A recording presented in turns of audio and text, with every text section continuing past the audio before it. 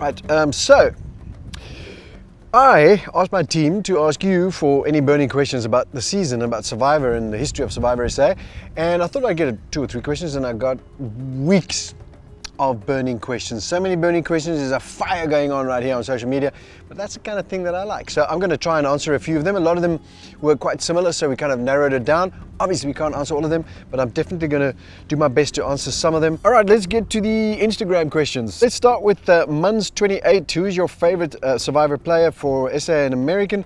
Well, you know what? I have many favorites, as I'm sure you do, and let's not put names out there because, you know, that's kind of favoritism. So let me tell you my favorite kind of player is someone who comes into the game ready to adapt. If you come with a rock solid plan and you think you're going to execute that, I got a surprise for you. Survivor is all about expecting the unexpected, and we make sure we keep on your toes. So I love it when players come into the game and they, they ebb and flow with whatever we throw at them. And so that's my favorite kind of player. All right, Survivor Prop Collecting asks, uh, favorite location? Well, for me, one of the favorite locations uh, is the Philippines. It always stands out for me because of the beautiful blue waters and mountains. I love mountains and ocean, and we spend a lot of time on boats when we shoot in the Philippines. But um, every place has its own characteristic traits and its own magic that it brings to every season. So everywhere we've shot has been magical, from the Maldives to Samoa, and of course locally in South Africa, mind-blowing locations in our own country, um, uh, in the Wild Coast and of course uh, on the Sunshine Coast. So it is just wonderful that we get to visit all these places. So tough to pick a favorite. Felicity Macht asked, uh, are you informed of the daily shenanigans of the castaways or do you only find out at tribal council? We, I, am kept updated minute by minute about what's going on. I need to know exactly what's going on all the time, but it's so difficult, it moves so fast. And uh, before Tribal Council is when things really speed up. So I've got about half an hour before Tribal Council to just quickly get a briefing as to what's going on. And then I go into Tribal having an idea of what has transpired leading up to that, but no idea how it's going to play out. And that's what Tribal Council is about, is to ask questions of our castaways and see where they're at, um, if anything has changed, and if anyone needs any more information before they make that all-important decision of voting someone out. Tsakani Sona asked, uh, what is your most memorable blindside you've ever experienced at Tribal Council? Well, they're all kind of memorable, aren't they? Uh, but I think the favorite ones are the ones where people get voted out with an idol in their pocket because there they sit, they have the power to protect themselves, they're so confident that they don't need to use it, they want to keep it for the next tribal or down the line, post-merge, whatever the case might be, that they don't play it. And when they get voted out, the, the looks on their faces, the people who think they're safe and have that confidence, that arrogance even, which blinds them, um, sometimes just don't see it coming. And of course, that's the kind of blind side we enjoy because it's like, oh my word, you could have saved yourself.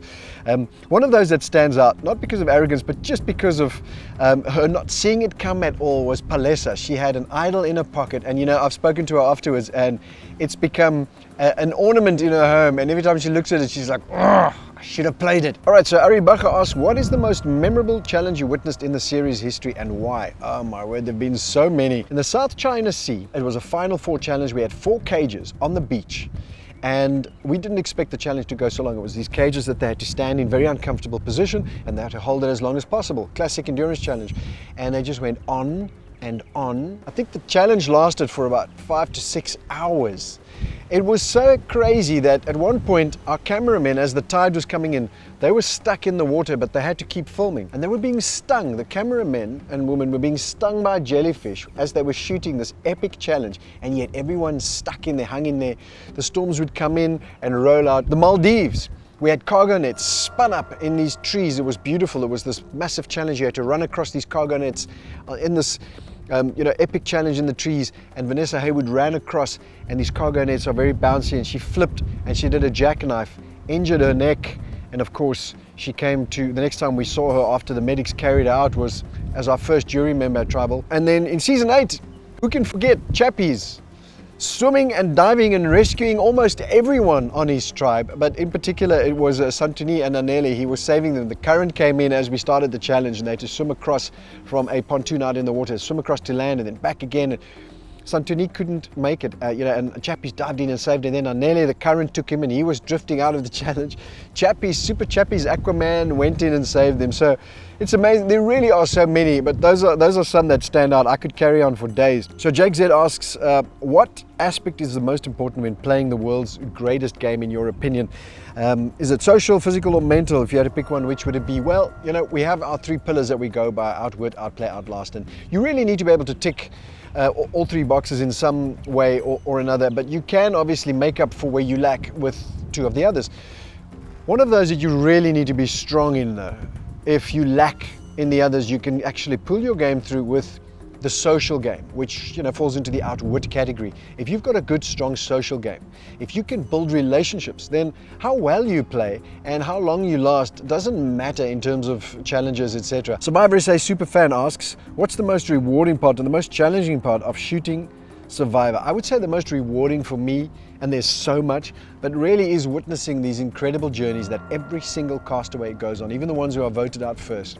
Just really, when they come out, they've got um, something is switched on in their eyes. If you look in their eyes, um, and, and I certainly do all the time, look straight into their eyes and see what's happening there. And, and, and, all of them, they get switched on by this game. Most people leave this game with so much gratitude. They say, thank you, thank you. I've learned so much about myself, about life. I, I have a whole new perspective on this game, but also on the world. No one leaves the game of Survivor a loser. Everyone wins in some way or another. So that's really rewarding.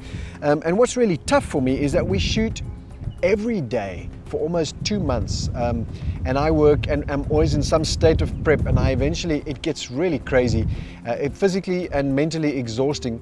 And, uh, and you, you find yourself really hanging on by a thread at times. The only problem is I can't complain about it because out there are 20 people living in a shelter they built with their own hands and they're eating coconuts and rats. So that's the tough part. I can't complain. Simply uh, Hilgard do you believe that the Survivor SA gameplay has changed over the last eight seasons, and if so, how? Oh yes, it has incredibly changed. Our castaways would come in and they'd play it as an adventure, and it, there'd be a lot of camaraderie, of course, which is beautiful, and a lot of kumbaya, we call it, but uh, they'd forget to play the game. And so people didn't really know how to go about orchestrating a strategic game. And so that has evolved over the years. So now what we see is people coming in, trying to play a strategic game with the conflict of the relationships that are built within the game that then make playing a strategic cutthroat game so much harder. And that's what makes for great television. Ranjita H asks, are the cameras on the survivors 24-7 and where do you and the crew stay during filming? Rough it out or nice accommodation? What people don't know is I get here a couple of weeks before the castaways get here and then I, with an axe, that's all I get, an axe and a sleeping bag and I have to build my own shower, I don't have to do that. We do not rough it. Uh, in fact, we stay in the closest, best accommodation we can and um, sometimes it's really great, sometimes it's okay, but it's always much better than the poor castaways. Who have to build their own shelter and forage for food. We have cameras all day and a number of crews and then at night we have night cams with infrared just to be there to watch because a lot of gameplay happens at night when the rest of the cast is sleeping. So yeah we got cameras on them all the time. Ari Bacher asks uh, which location was the most harsh for the crew and the production schedule? Um, without a doubt I have to say the Wild Coast in South Africa. We thought we were going to have good weather and then a cold front, as we call it here, moved in. Uh, you know, when it's raining in the tropical climes, it's uncomfortable, but it's still warm and, you know, you can snuggle up to someone and you'll be fine. In the Wild Coast at night, it was freezing in my hotel room in a bed with a duvet. I would come home after a tribal council where we were sitting in the rain for hours and I'd be shaking and I'd get into a hot shower and I'd say a prayer for the castaways because I know they're not going back to warm clothing even to a fire sometimes, and they've definitely not got a hot shower. Umpol Sigidi asks, um, how do you keep a straight face at tribal council when you clearly know uh, that a survivor is lying? It really is very entertaining to see people um, walk on eggshells around or, or, circle around my questions. And, and uh, we often call it the tribal dance because we literally are dancing around one another and they're trying to avoid answering my questions. And I you know I look for reactions and then I go there. So how do I keep a straight face with years and years of practice you get the poker face down? The Graham asks uh, in the survivor world the US Australia and South Africa are considered the big three. Will we ever have a Probst LaPaglia Panagio reunion or better yet will we ever have um, three uh, have a season of US versus SA versus AU. Well, listen, from your lips to God's ears, because I think we all want that. We all love just the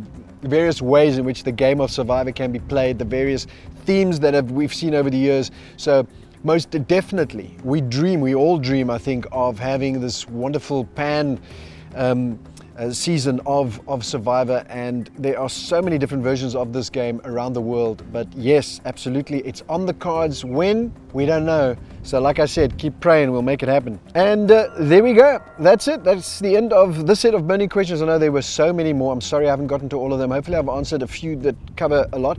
Um, and um, yeah, make sure you uh, tune in to season 9 Survivor SA Return of the Outcast. Believe me, it's to be incredible. In fact, I've got to run because I've got a, another challenge to get to, no time to waste, and more coffee to drink.